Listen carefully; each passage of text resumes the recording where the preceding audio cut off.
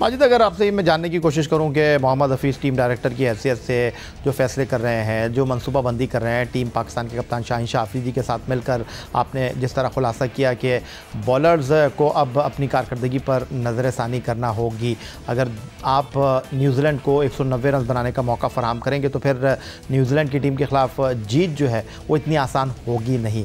तो आप जो तब्दीलियाँ कर रहे हैं, जिस तरह इनिंग के आगाज़ के लिए इस बार साहिम को और रिजवान को मंतखब किया गया, फिर बतौर विकेट कीपर कॉम्प्रोमाइज़ किया सेक्रीफाइस किया मोहम्मद रिजवान ने, आज़म खान को मौका फ़राहम किया गया। फिर हमने टेस्ट क्रिकेट की परफॉर्मेंस के ऊपर आमिर जमाल को जो है वो टी ट्वेंटी में मौका दिया और कहा यह जा रहा था कि जमान खान एक अच्छा खिलाड़ी साबित हो सकते हैं, लेकिन हमने उनको बिठाने का फ़ैसला किया। इन चीज़ों को आप किस तरह देख रहे हैं? देखिए, मोहम्मद हफीज़, मेरा नहीं ख्याल कोई गलत फ़ैसले कर रहे हैं। लेकिन जिन लड़कों को मौका मिल रहा, वो उन मौक़ों से फ़ायदा नहीं उठा रहे। पाकिस्तान की क्रिकेट कहाँ घूम रही है? बाबर आज़म, फ़खर जमान। बाबर आज़म नो डाउट दोनों मैचों में पचास किए, लेकिन वो लंबी इनिंग्स नहीं खेल सके। लेकिन क्रिकेट देखें टीम गेम है। एक बंदे को अगर आप ये कह दें कि वो पूरा मैच फिनिश कर जाए तो फिर बाकी दस लड़के क्यों खेल रहे हैं? इसी तरह फ़खर जमान पहले मैच में जल्दी आउट हो गए, दूसरे मैच में उन्होंने पचास कर दिए, लेकिन पचास करने के बाद फिर वो भी आउट हो गए। लेकिन जो यंगस्टर हैं, साइम अयूब ने जिस गेंद का इंतखब किया, वो भी बाउंड्री पे कैच हो गए। आज़म खान, उन्होंने सीधा मारने की कोशिश की, उन्होंने पहले फील्डर खड़ा किया हुआ था, वो वहाँ कैच हो गए। आमिर जमाल, उनको हमने ऑलराउंडर की ऐसे से खिलाया, वो स्टम्प हो गए। फिर सबसे बड़ी बात है, जो शाहिन शाह आफरीदी ने भी कही, कि हमने इन न्यूजीलैंड को 170 run sir second T twenty में महदूद रखना चाहिए था। हमने एक रन का हदफ हासिल किया न्यूजीलैंड से। तो इसका मतलब है कि तकरीबन को 25 रन हमने ज़्यादा दे दिए। तो इसका मतलब है कि बैट्समैन तो गलत खेल रहे हैं लेकिन बैट्समैनों को इतना आइडियल प्लेटफॉर्म नहीं मिल रहा। इन पिचेस पर 190, 200, 226 ये बड़ा स्कोर है मेरे ख्याल में। हमारे बॉलर्स शाहिन शाह आफरीदी अगर शुरू में विकटें लें और शुरू से अंडर प्रेशर रखें फिन एलन आप देख लें ना वो सिंगल हैंडेडली मैच को लेके चले।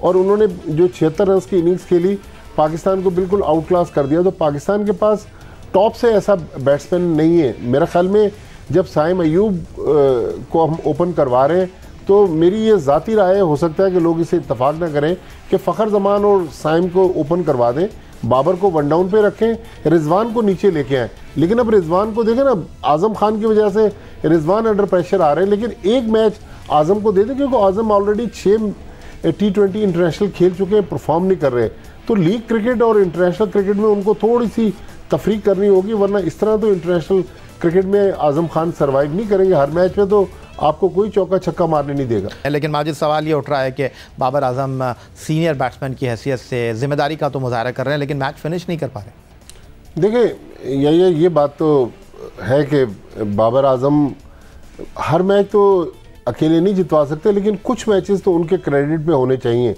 और दुनिया के आप बड़े बैट्समैन देख लें, जावेद मियादाद की वो जो हिस्टोरिक इनिंग्स थी इंडिया के खिलाफ शारजा में, जो उन्होंने आखिरी गेंद पे छक्का मारा, उसमें आप ऊपर से देखें, इमरान खान, वसीम अकरम, अब्दुल कादिर, जुलकर नैन, फिर वो तौसीफ़ अहमद का एक रन। लेकिन जो फाइनल उसमें छक्का मारा, वो जावेद मियादाद ने मारा तो लोगों ने अपना रोल प्ले किया। यहाँ बाबर आज़म के साथ दूसरे लोग आ रहे हैं, जल्दी जल्दी आउट हो रहे हैं। लेकिन बाबर आज़म दुनिया के अजीम प्लेयरों में उसी वक्त शुमार होंगे।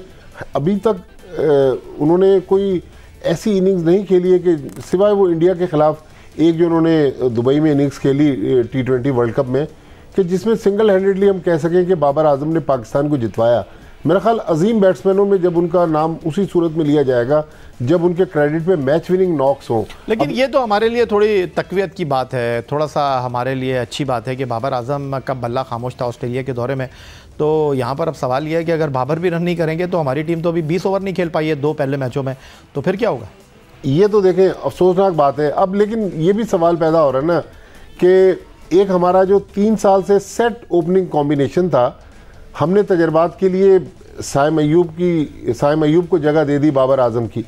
तो अगर ये नौजवान डिलीवर नहीं करेंगे तो फिर तो टीम मैनेजमेंट को रिवर्स गियर लगाना पड़ेगा। फिर ये जो मीडिया बार बार सवाल करता है सिलेक्शन कमेटी और टीम मैनेजमेंट से कि भाई आप नौजवानों को मौका नहीं दे रहे नौजवान उन मौक़ों से फ़ायदा नहीं उठा रहे। अब जो नौजवान फ़ायदा उठा रहे आमिर जमाल ने फ़ायदा उठाया तो उन्हें टी ट्वेंटी टीम में जगह मिल गई। अब्बास आफरीदी परफॉर्म कर रहे हैं, हर आदमी उनकी तारीफ़ कर रहा है। लेकिन साइम अयूब और आज़म खान फिर इफ्तार अहमद। मिडल ऑर्डर में देखें, पाँच नंबर वो पोजीशन है। हम बाबर की बात करते हैं, पाँच नंबर का बैट्समैन अक्सर दुनिया में देखें, वही मैच फिनिश करता है, लेकिन इफ्तार अहमद वर्ल्ड कप में भी बहुत अच्छी परफॉर्मेंस नहीं दे सके थे। यहाँ भी हमें स्ट्रगल करते हुए नज़र आ रहे हैं तो अगर इफ्तार अहमद एक आध मैच वो भी फेल हो गए तो उस पोजीशन पे भी हमें कंसीडर करना होगा। मेरी ज़ाती राय में अगर बाबर और रिजवान का पुराना कॉम्बिनेशन आ जाए टीम मैनेजमेंट अगर रिवर्स गेयर लगा दे तो फिर Shan Masood one down position पर एक ऐसे बैट्समैन है जो टी ट्वेंटी में, मेरे ख्याल में पाकिस्तान को इस्तेकाम दे सकते हैं। क्योंकि ऊपर से अगर देखें टॉप फाइव में से हमारे हमारे बैट्समैन स्कोर नहीं करेंगे तो फिर टीम नहीं जीत सकेगी। तो हमारे टॉप फाइव में बाबर और फ़खर, उसके अलावा हमारे बैट्समैन स्ट्रगल करते हुए नज़र आ रहे हैं।